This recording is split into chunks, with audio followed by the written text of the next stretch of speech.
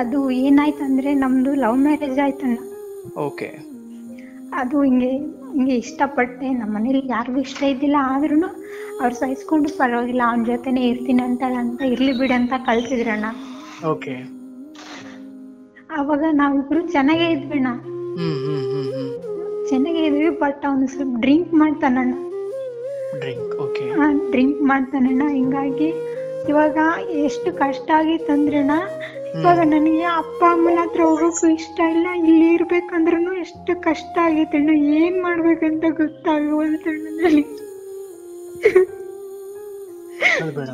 ಅವನನ್ ಬಿಟ್ಟು ಬದುಕೋ ಶಕ್ತಿ ನನಗಿಲ್ಲಣ್ಣ ಅವನನ್ ಬಿಟ್ಟು ಬಂದ್ಬಿಡು ಅಂತಾರ ನಮ್ಮ ಮನೇಲಿ. ನಿನ್ಗೆ ನಮ್ ಬೇಕಿದ್ರೆ ಮದ್ವೆ ಮಾಡ್ತೀವಮ್ಮ ಚೆನ್ನಾಗಿರಂತಿ ಅಂತಾರ.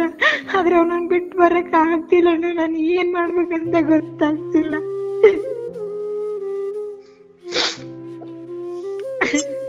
ಬಟ್ ಅವನಿಗೆ? ನೀವು ಮದುವೆ ಆಗ್ಬೇಕಾದ್ರೆ ಅವರು ಅಷ್ಟೊಂದು ಕುಡಿತಾ ಇದ್ರ ಅಥವಾ ಇವಾಗಿದ್ದಂಗೆ ಇದ್ರ? ಇಲ್ಲಣ್ಣ ಸ್ವಲ್ಪ ಕುಡಿತಿದ್ರು ಅವಾಗ ಇವಾಗ ಇನ್ನು ಜಾಸ್ತಿ ಕುಡಿತಿದಾರಣ್ಣ ನನಗೆ. ಅವನನ್ನ ಬಿಟ್ಟು ಬದುಕ ಶಕ್ತಿ ಇಲ್ಲ ನಾನು ತುಂಬಾನೇ ಜೀವ ಮಾಡ್ತೇನೆ. ಆದ್ರೆ ಅವ್ನ್ ಕುಡಿಯೋದ್ ಬಿಡ್ತಾ ಇಲ್ಲ ನನಗೆ ಏನ್ ಮಾಡ್ಲಿ? ಅದು ಹ್ಯಾಬಿಟ್ ನನ್ಗೆ ಬಿಡಕ್ ಆಗ್ತಿಲ್ಲ ಅಂತ ನನ್ನ ಆದ್ರೆ ನನ್ ಬಿಟ್ ಮಾತ್ರ ಅವನಿಗೆ ಇರಕ್ಕೆ ಆಗ್ತಿಲ್ಲ ಅಣ್ಣ. ಅಲ್ಲ ನಿಮ್ಮ ಮೇಲೆ ಅಷ್ಟೊಂದು ಪ್ರೀತಿ ಇರೋರ್ಗೆ ಅದೊಂದ್ ಚಟ ಬಿಡೋದಿಕ್ ಆಗೋದಿಲ್ವಾ ಬಿಡ್ಬೇಕು ಅಂತ ಎಷ್ಟು ಪ್ರಯತ್ನ ಮಾಡ್ತಾರಣ್ಣ ಮತ್ತೆ ಫ್ರೆಂಡ್ಸ್ ಎಲ್ಲ ಕರ್ಕೊಂಡು ಹೋಗಿ ಕುಡಿಸ್ಬಿಡ್ತಾರೆ ಅಲ್ಲ ಬಿಡ್ಬೇಕು ಅಂತ ಒಂದ್ ನಿರ್ಧಾರ ಮಾಡೋದಕ್ಕಿಂತ ಈ ಆಚಿನ ಫ್ರೆಂಡ್ಸ್ ಮುಖ್ಯ ಆದ್ರೆ ಅಥವಾ ಅವ್ರು ಕರೀತಾರೆ ಅಂತ ಹೋಗೋದಾದ್ರೆ ಇಡೀ ಜೀವನ ಪೂರ್ತಿ ನೀವು ಅದು ಸಾಧ್ಯನೇ ಆಗೋದಿಲ್ಲ. ಒಂದು ಹೌದು ಅಣ್ಣ. ನಿಮ್ಮ ಮೇಲಿನ ಒಂದು ಪ್ರೀತಿ ಅಥವಾ ನಿಮ್ಮ ನೋವು ಅವ್ರಿಗೆ ಅರ್ಥ ಆಗಬೇಕು. ಆಗ್ಲೇ ಆ ಪ್ರೀತಿಗೊಂದು ಬೆಲೆ. ಈಗ ಫ್ರೆಂಡ್ಸ್ ಕರೀತಾರೆ ಫ್ರೆಂಡ್ಸ್ ಇನ್ನೂ ಏನೋ ಮಾಡು ಅಂತ ಹೇಳ್ತಾರೆ. ನಿಮ್ಗೂ ಹೇಳ್ತಾರೆ ನೀವು ನೀವು ಇಲ್ವಾ? ಅಥವಾ ನೀವು ಒಳ್ಳೆ ರೀತಿಯಲ್ಲಿ ಇದ್ದಿರ್ತಾನೆ? ನಿಮ್ಗೂ. ನಾನಾ ಆಕರ್ಷಣೆಗಳು ಬರ್ತವೆ ನಾನಾ ಅವ್ರೇನೋ ಹೇಳ್ತಾರೆ ಇವ್ರೇನೋ ಹೇಳ್ತಾರೆ. ಕೆಲವೊಂದು ವಿಚಾರಗಳಿಂದ ನಾವು ತಪ್ಪಿಸ್ಕೊಳ್ಬೇಕು. ಅಣ್ಣ ಅದು ಇವಾಗ ನಾನ್ ಏನ್ ಮಾಡ್ಲಿ. ಅಣ್ಣ ಇವನ್ ಜೊತೆ ಇದ್ರೆ ನಾನ್ ಸಾಯತ್ ಅನ್ಕೊಂಡು ಇವನ್ ಚೇಂಜ್ ಆಗಲ್ಲ ಹಿಂಗೆ ನನ್ ಜೀವನ ನರಕ ಆಗುತ್ತೆ.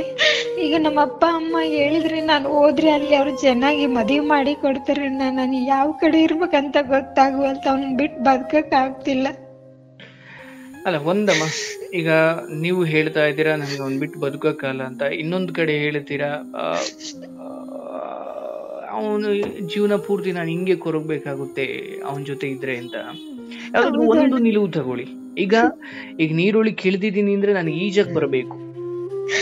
ದೊಡ್ಡ ನದಿ ಬಿದ್ಬಿಟ್ಟಿದ್ದೀನಿ ಅಂದ್ರೆ ನಾನು ಈಜಕ್ ಬರೋಕ್ ಬಂದ್ರೆ ಮಾತ್ರ ನಾನು ಅಲ್ಲಿ ಬದುಕೊಳಕ್ ಸಾಧ್ಯ. ಯಾರೋ ಮೇಲೆತ್ತಾರೆ ಯಾರೋ ಬಂದು ನಮ್ಮನ್ನು ಕಾಪಾಡ್ತಾರೆ ಅದು ಯಾವುದು ಕೂಡ ಆ ಕ್ಷಣಕ್ಕೆ ಹೋಗುವಂತಹ ಮಾತಲ್ಲ. ಹೌದು ಅಣ್ಣ. ಸೊ ನಿರ್ಧಾರ ಮಾಡು.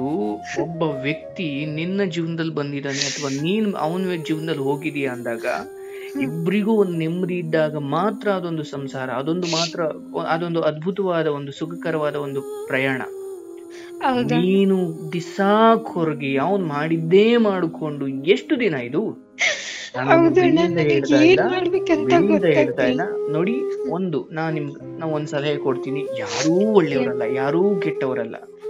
ಅವರಿಗೆ ತಿದ್ದಿಕೊಂಡೋಕೆ ಒಂದಷ್ಟು ಸಮಯ ಅಂತ ಕೊಡಿ. ನೀವು ನೀವು ಸ್ವಲ್ಪ ಗಟ್ಟಿಯಾಗಿ ನೀವು ಸ್ಟ್ರಿಕ್ಟ್ ಆಗಿ ನೋಡಪ್ಪ ಈ ಮೂರು ತಿಂಗಳು ಅಥವಾ ಈ ಒಂದು ಹತ್ತು ತಿಂಗಳು ಅಥವಾ ಒಂದು ವರ್ಷ. ನಾನು ನೋಡ್ತೀನಿ ನನಗೂ ಒಂದು ಬದುಕಿದೆ ನನ್ಗೂ ಒಂದು ಮನ್ಸಿದೆ. ನೀನು ಈ ಸಮಯದಲ್ಲಿ ನನ್ನ ಮೇಲೆ ಅಷ್ಟೊಂದು ಪ್ರೀತಿ ಇದ್ರೆ ಅಷ್ಟೊಂದು ಇದಿದ್ರೆ ನೀನು. ಬದಲಾಗು. ಬೇಡ ಮೂರ್ ತಿಂಗಳು ಬೇಡ ಒಂದ್ ವರ್ಷನೇ ಸಮಯ ತಗೋ ಬದಲಾಗು. ಆ ಒಂದು ವರ್ಷ ಆದ್ಮೇಲೂ ಅದು ಅದೇ ತರ ಮುಂದುವರಿಸ್ತಾರೆ ಅಂದ್ರೆ ಅಲ್ಲಿ ನಿನ್ನ ಬದುಕನ್ನ ನೀನ್ ಅಂದ್ಕೊಂಡಂಗ್ ಬದುಕಲಿಕ್ಕೆ ಸಾಧ್ಯ ಇಲ್ಲ. ಅಲ್ವಾ? ಕೆಲವೊಂದು ವಿಚಾರಗಳಲ್ಲಿ ನಾವು ಕಲ್ಲಾಗ್ಬೇಕು ಮೊದ್ಲು. ನಮ್ಮ ನಾಲ್ಕು ವರ್ಷ ಆಯ್ತಣ್ಣ ಹಿಂಗೆ ಬಿಡ್ತೀನಿ ಬಿಡ್ತೀನಿ ಅಂದ ಆದ್ರೆ ಬಿಡ್ಲಿಲ್ಲ. ನಾಲ್ಕು ವರ್ಷ ಆಯ್ತು ನಮ್ದು ಮದ್ವೆ ಆಗಿ. ಇನ್ನೇನ್ ಆಕ್ಸಿಡೆಂಟ್ ಆಗೋದ್ರಿಂದ ಮಿಸ್ ಆದ ಅವಾಗ ಅವನಿಗೆ ಪ್ರಾಣದ ಬೆಲೆ ಗೊತ್ತಾಗುತ್ತೆ. ಹೌದು. ನೆಕ್ಸ್ಟ್ ಅಲ್ಲಿ ರೋಡ್ ದಾಟಬೇಕಾದ್ರೆ ತುಂಬಾ ಹುಷಾರಾಗಿರ್ಬೇಕು ಅಂದಾಗ ಅವನಿಗೆ ಅಣ್ಣ ಗೊತ್ತಾಗುತ್ತೆ ಇವಾಗ ಅಪ್ಪ ಅಮ್ಮ ಏನಂತಾರಣ್ಣ ನಮ್ಮ ಹತ್ರ ಬಂದಿರಮ್ಮ ನಿನಗೆ ಯಾವಾಗ ಇಷ್ಟ ಆಗುತ್ತೆ ಅವಾಗ ಮದ್ವೆ ಮಾಡ್ಕೊ ನೀನ್ ಫೋರ್ಸ್ ಮಾಡಲ್ಲ. ನೀನ್ ಅವನನ್ನ ಬಿಟ್ಟು ಬಂದ್ರೆ ನೀನ್ ಸಂತೋಷವಾಗಿ ಇರ್ತಿ ಇಲ್ಲಾಂದ್ರೆ ನೀನ್ ಅಲ್ಲೇ ಸತ್ತೋಗ್ತೀಯಮ್ಮ ಅಂತ ಹೇಳ್ತಾರೆ ಅಣ್ಣ ನಾ ಏನ್ ಮಾಡ್ಲಿ? ಈಗ ನೋಡಿ ಒಬ್ಬ ಹುಡುಗನಾಗಿ ಅಥವಾ ನಿಮ್ಮನ್ನ ಪ್ರೀತಿ ಮಾಡಿ ಮದ್ವೆ ಆಗಿರೋನಾಗಿ ಇವನ ಮಾತುಗಳು ನಿಮ್ಮ ಜೊತೆ ಒಂದು ತರ ಇದ್ರೆ ನಿನ್ನ ಹೆತ್ತವರಾಗಿ ಅವ್ರ ಮಾತುಗಳು ನಿನ್ನ ರೀತಿ ಒಂದ್ ನಿನ್ನ ಹತ್ರ ಒಂದು ರೀತಿ ಇರ್ತವೆ. ಎಲ್ಲರೂ ಹೇಳೋದಿ ಹೇಳೋದು ಒಳ್ಳೇದಕ್ಕೆ ಅಂತ ಭಾವಿಸೋಣ. ಆದ್ರೆ ಈ ಎರಡೂ ವಿಚಾರಗಳನ್ನ ಅಥವಾ ಈ ಎರಡೂ ಸೈಡ್ ಕೇಳಾದ್ಮೇಲೆ ನಿನ್ಗೇನ್ ಅನ್ಸುತ್ತೆ? ಓಕೆ ಕೊಟ್ಟ ಹೆಣ್ಣು ಕುಲಕ್ ಹೊರಗು ಅನ್ನೋ ಹಾಗೆ ನಿನ್ನ ಮನೆಯವರು ನಿನ್ನನ್ನ ಬಹಳ ಪ್ರೀತಿಯಿಂದ ಕರೀತಾ ಇದ್ದಾರೆ ಅಂದ್ಕೊಳ್ಳೋಣ. ಅಲ್ಲೇನೋ ಎಡವಟ್ಟಾಯಿತು ಅಥವಾ ನಿನ್ ಬಗ್ಗೆ ಏನೋ ಒಂದು ಕೆಟ್ಟ ಮಾತು ಬಂತು ಅಥವಾ ಈ ವಿಚಾರವನ್ನ ಇಟ್ಕೊಂಡು ನಿನ್ನನ್ನು ಹಂಗ್ಸೋಕ್ ಶುರು ಮಾಡಿದ್ರು. ಅಂದ್ರೆ ಅದಾಗೋದಿಲ್ಲ ಬಟ್ ಅದ್ರ ಬಗ್ಗೆ ಯೋಚನೆ ಇರಬೇಕು ನಿಮಗೆ. ಹೌದು ಅಣ್ಣ ಆತರ ಏನೇ ಆದ್ರೂ ಆಗ್ಲಿಮ್ಮ ಯಾರೇನೇ ಅಂದ್ರೆ ತಲೆ ಕೆಡ್ಸ್ಕೊಬೇಡ ಯಾಕಂದ್ರೆ ನಿನ್ ಜೀವನ ನೀನ್ ನೋಡ್ಕಮ್ಮ. ನಿನ್ ಜೀವನ ಹಾಳಾದ್ರೆ ಯಾರು ಬರಲ್ಲ. ನಾವ್ ಎಷ್ಟ್ ದಿನ ಇರ್ತೀವಿ ಸತ್ತೋಗ್ತೀವಿ ಇವತ್ ಇರ್ತೀವಿ ನಾಳೆ ಸತ್ತೋಗ್ತೀವಿ. ನೀನ್ ಒಂದ್ ನೆಲೆಗತ್ತಿ ಹೋಗ್ಬೇಕಂತೀವಿ ಅಮ್ಮ ನಾವು ಅಂತ ಹೇಳ್ತಾರೆ ಅಪ್ಪ ಅಮ್ಮ. ಓಕೆ ನಾನು ಹೇಳಿದ ಒಂದು ವರ್ಷ. ಇಲ್ಲಿಂದ ಒಂದು ಆರು ತಿಂಗಳು ಅಥವಾ ಮೂರು ತಿಂಗಳು ಅಥವಾ ಒಂದು ವರ್ಷ. ಸಮಯ ಕೊಡಿ ತಿದ್ಕೊಳ್ಳೋಕೆ ಅವಕಾಶ ಕೊಡಿ ಕ್ಷಮಿಸಿ. ಆ ಕ್ಷಮೆಗೂ ಬಾಗ್ಲಿಲ್ಲ ತಿದ್ಕೊಳ್ಳಿಲ್ಲ ಅಂದ್ರೆ ನೀವು ಕಲ್ಲಾಗಿ. ಇಡೀ ಜೀವನ ಪೂರ್ತಿ ಬೇರೆಯವ್ರಿಗೋಸ್ಕರ ಹತ್ತು ಹತ್ತು ಹತ್ತು ಬದುಕೋದು ಬದುಕಲ್ಲ. ನಿನ್ನನ್ನ ನಿಜವಾಗ್ಲೂ ಪ್ರೀತಿ ಮಾಡೋರು ನಿನ್ನನ್ನ ಅಳೋದಿಕ್ ಬಿಡೋದಿಲ್ಲ ನಿನ್ನ ಜೊತೆಗಿನ ಬದುಕಿಗಿಂತ ಅವರ ಸುಖಗಳೇ ಅವರ ಆ ಚಟಗಳೇ ಜಾಸ್ತಿ ಆದವು ಅಂದ್ರೆ ಅದೊಂದು ಸಂಸಾರ ಆಗ್ಲಿಕ್ಕಿಲ್ಲ. ಓಕೆ ನಿರ್ಧಾರ ಮಾಡಿ ನಿಮ್ಮ ಬೆಲೆ ಅವ್ರಿಗೆ ಗೊತ್ತಾಗಬೇಕು.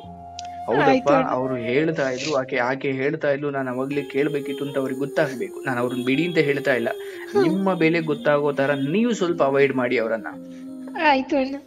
ಓಕೆ ಪ್ರೀತಿ ಇರ್ಲಿ ಆದ್ರೆ ನಿಮ್ಮ ಬೆಲೆ ಅವ್ರಿಗೆ ಗೊತ್ತಾಗ್ಬೇಕು. ಹಾ ಹೌದು. ಓಕೆ ನೀವೇ ಹೇಳಿದ್ರಿ ಒಂದಷ್ಟು ಜನ ಕೆಟ್ಟವ್ರ ಸಹವಾಸ ಮಾಡಿದಾಗ ಬಹುಶಃ ನಾವು ಕೆಟ್ಟವರಾಗ್ಬಿಡ್ತೀವಿ.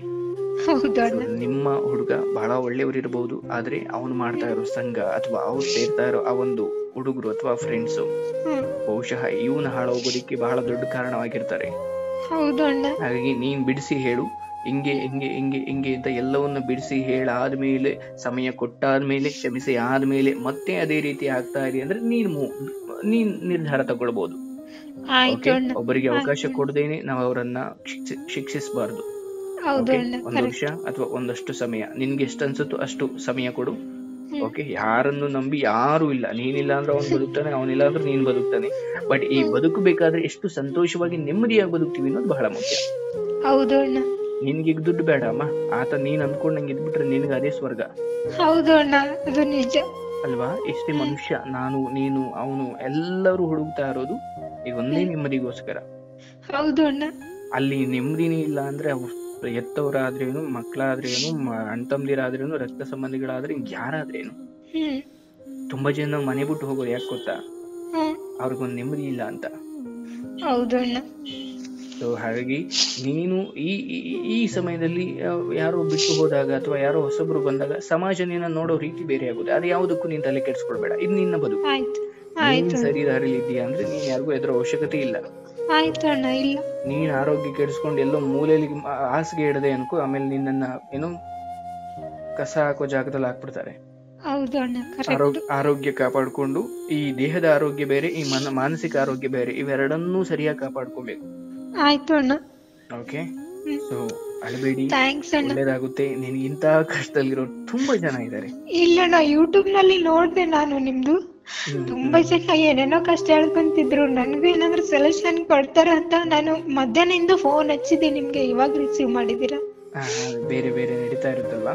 ಸೊ ಇರ್ಲಿ. ನಿಮಗೀಗ ನಾನು ಕೊಟ್ಟಿರೋ ಒಂದು ಚಿಕ್ಕ ಸಲಹೆ ಅಂದರೆ ನೀನು ನಿನ್ನ ಬೆಲೆ ಏನು ಅಂತ ಅವರಿಗೆ ತಿಳಿಸ್ಬೇಕು. ಅದಕ್ಕೆ ನಾನಾ ದಾರಿಗಳಿದಾವೆ. ಅವರನ್ನ ಒಂದು ಚಿಕ್ಕದಾಗ ಅವಾಯ್ಡ್ ಮಾಡಿ. ಆ್ಯಂಡ್ ಒಂದಷ್ಟು ಸಮಯ ಕೊಡಿ ಕ್ಷಮಿಸಿ. ಅದಾದ್ಮೇಲೂ ಆ ರೀತಿ ಆಗಲಿಲ್ಲ ಅಂದ್ರೆ ಅದು ನಿನ್ನ ಬದುಕು ನೀನು ನಿರ್ಧಾರ ತಗೊಳ್ಬಹುದು